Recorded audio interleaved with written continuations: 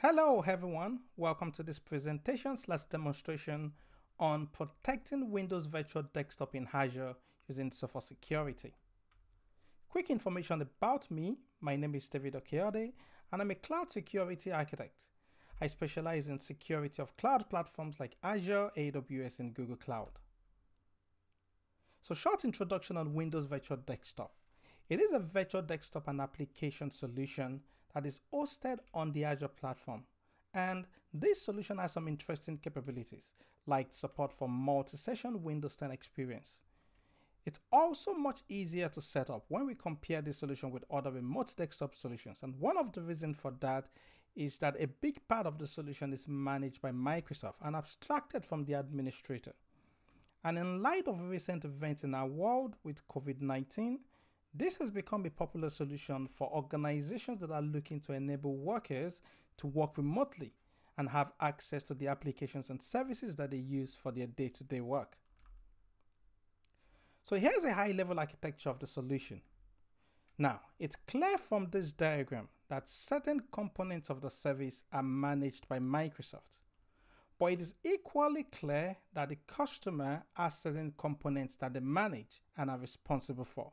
And that is our areas of focus in this presentation slash demonstrations. The core of what we're discussing is that Windows Virtual Desktop is not a secure by default solution, and we have certain responsibilities as customers to secure it. Now, having a closer look at this architecture diagram, the same one I showed you earlier, we can see mentions of access, management, diagnostics, but there's no mention of security. And this is where the Sophos Security Solutions comes in to help us to secure the aspect of this solution that we manage and ultimately securing our digital assets. So here's the value that Sophos Security Solution brings to this service. So we have visibility and detection, analysis and investigation, and incident response. Now to the demo. This will be a two-part series video and the first part, I'll deploy Windows Virtual Desktop into Azure. And then I'm going to protect the session host of the solution using the Sophos Intercept X solution. So that'll be the first part. In the second part of this video, I'll deploy the Sophos XG firewall to provide an added layer of security on the network front. So that's called defense in depth. So let's get right into the current environment and then I'll go ahead and show you the demo. So here's the current environment that I have. So I have a virtual network in Azure that has two subnets. One of the subnets has a domain controller. Now in the other subnet, I will be deploying the Windows Virtual Desktop solution, the session host into the other subnet. I'll then be protecting that using the Sophos Intercept X solution, which will be registered to Sophos Central, and I'll be able to get policies from Sophos Central into that. The next part of the video, as I mentioned, I will be deploying the Sophos XG firewall into another virtual network in Azure. I'll call that the security virtual network. I will create a peering relationship between the network that v v Windows Virtual Desktop Solution resides and my security virtual network. I'll configure a root table or route table, however you pronounce that, so that traffic that's going out to the internet or traffic that's even going out to other networks, it's going to be routed through my Sophos XG firewall solution. So that way I will be able to do security checks and be able to gain visibility and be able to enforce compliance on the network level also. So let's get right into that. So to the deployment of the Windows Virtual Desktop, I'll go ahead and search for Windows virtual desktop. And one of the options that I get is this option in the marketplace for Windows Virtual Desktop provision a host pool. If I go ahead and click on that option and I click on create, I'll fill in the information about my resource group.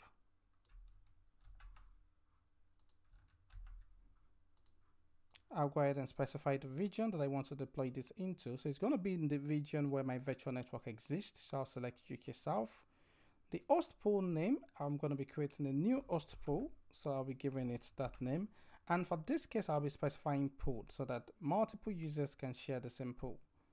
So for desktop users, I have two users that I'll start with. So that'll be David and Brenda. And I'll leave the metadata location as United States. I'll click next to configure usage profile will be light because it's a test environment and total number of users I'll set that to two.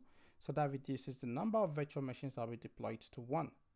For the virtual machine name prefix, I'll specify a name that's less than two characters, uh, sorry, less than 12 characters, I mean. Now for the virtual machine settings, I'll be using the Windows 10 Enterprise Multi-Session image. I'll put in information to join this host to my domain. So I'll go ahead and put in information of an admin. I won't specify any OU. In this case, I'll select the virtual network that has my domain controller and I'll specify the subnet that I want to deploy this host pool into, which is this other subnet. So I'll go ahead and click next. For the virtual desktop information, I'll put in my tenant's name. If you're not familiar with what this is, this is not a video to go into details about this service. I'll put a link to Microsoft documentation in the description below and you can have a quick look at those. So it guides you into how to create the tenant. So in this case, I'll put in my tenant's name that I created already. And I'll put in information about the service principal that I created already also. So I've got a service principal and I've got an application ID. Got the password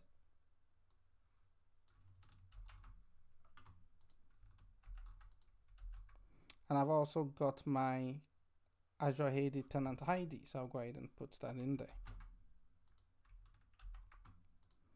I'll go ahead and click on review and create so that does a review and a validation of the template once that passed I'll go ahead and click on create and that should begin the process of deploying the host pool and also the session host I'll go ahead and pause the recording and wait for this to complete. So once this is completed, I'll show you the rest of the process. So welcome back. So the deployment of Windows Virtual Desktop completed su successfully. So I can go to the resource and I can examine what's been deployed. So I have a session host here, so that's good. So the next thing that I'll be doing, let me go back to the presentation to show you what's the next step that I'll be doing. So that's what I've done. I've deployed the session host. Next thing that I'll be doing is I'll be deploying the Sophos Intercept X agent onto that session host. Now, what I'm going to be doing is I'm going to connect to that session host with a user that has admin privileges to the deployment. For me to go through this part, I need a Sophos Central account and you can sign up by going to central.sophos.com and just click and sign up here. So that will take you to the place of signing up for a free trial for 30 days um, to, to begin with. So what I'll do is I'll log into my Sophos Central account to show you what that looks like. So one of the other things that I have is I've linked my Sophos central account with Microsoft Azure. That's a topic for, for another day. If I go over to server protection here, you can see that if I go under servers and if I go under Azure VMs, it's detected my session host. It's detected that it doesn't have any Sophos protection on it. So obviously what I want to do is I want to have this protected. So that's the next one that I'll do.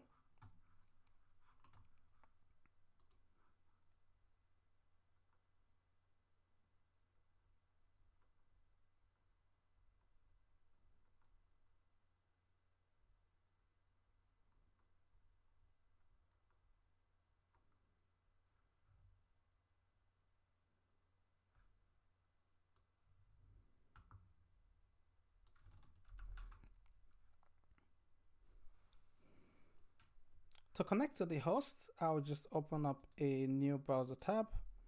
And what I'll do is I'll paste in this URL. So that is rdweb.wvd.microsoft.com forward slash web client. So I can also use a desktop client, but I'll be using a web client for this demonstration. So because I'm signed in with the same credential that has access, I will be um, taken to a web page where you can connect to my virtual desktop. and here you go you can see that's the pool. If I go ahead and click on the pool I'll just be connecting my clipboard and I'll click on allow. And then it's going to begin the process of connection. Prompted to enter my credentials I go ahead and put in my username david at supercloud.xyz and I'll put in my password also and I'll click on submit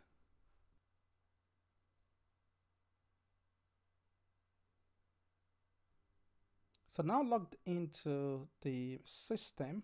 So what I'll do is I'll bring up Microsoft Edge. I'll go to central.sophos.com and authenticate with my credentials. So I'll put in my central, Sophos Central details.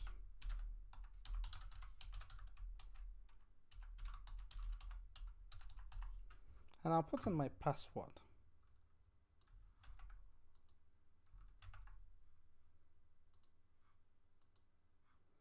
if I go ahead and click sign in and what I'll do is I'll go on the protect devices here and under protect devices I'll click on the option to download the complete Windows installer. So if I click on that so that's gonna attempt to download the installer. I'll just go ahead and click on run. And that's gonna begin the process of installing this agent. Now it's gonna be installing the agent called Sophos Intercept X for server is what it's going to be installing. And that's going to protect my multi-session environment so that will require the server license from for, of Sophos Intercept X but that's going to protect every user that's logged in or using the session host. If I go ahead and click continue here and I'll go ahead and click on install. And that will take a few minutes to proceed so I'll go ahead and pause the recording. So once this um, installer has completed the installation job I'll restart the machine and then I'll just show you where the policies can be configured and that will conclude the first part of this video. So welcome back. So the deployment completed successfully. So I need to restart the machine. So if I go ahead and click finish in that, so that's going to restart this session host. And while it's restarting, I'm going to show you how to configure the policies in Sophos Central. So if I go to Sophos Central, if I go on the, if I go back to the main view, and if I scroll down under my products, I have server protection here. So if I click on the server protection, and if I click on the service, I can see that it's detected the agent being installed on the session host. If I go under Azure VMs, I can see the virtual machines that I have running in Azure, which one is protected by the Sophos Intercept solution and which one isn't. So the one that is protected, I can click on this link here to take me to the server so I can see the status of, of the agent and what's going on. I can apply policies like um, I can lock it down, I can initiate a scan remotely but the thing I want to show you is about configuring the policy. So if I go the configure on the policies here, you can see that the solution itself has multiple layers of defenses and protection and visibility built into it. So for example, you have threat protection,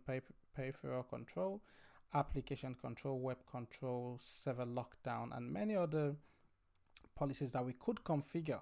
If I wanted to create a custom policy, um, because those are the base policy that will apply, if I wanted to create a custom one, I can go ahead a new policy for, let's say, threat protection. And if I click on continue, I can select my server or my instance, or I can put it into a group and apply the policy to the group. And then if I go on the settings, I can see the different layers, even just in this component of the solution. So this is just one component of the same solution and you can see the layers of defense that exist in this. You have CryptoGuard for protection against ransomware attacks, and you have protection against master boot record ransomware, you have protection for processes, you have anti-exploit, you have the deep learning solution.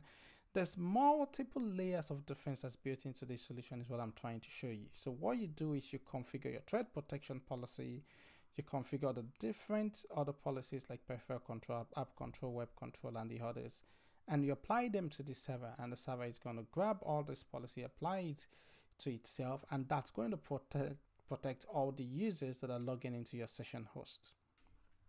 So that brings me to the end of this particular video.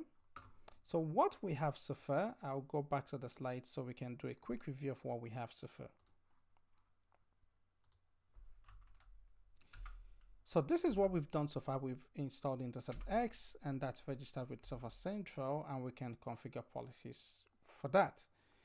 So what I'll be showing you afterward is how we can add another layer of defense to that by deploying the Sophos XG firewall on the network level and then creating the peering relationship between this network and the security network and then configure routing so everything can flow through the XG firewall. So I'll see you in the next video. Thanks for watching.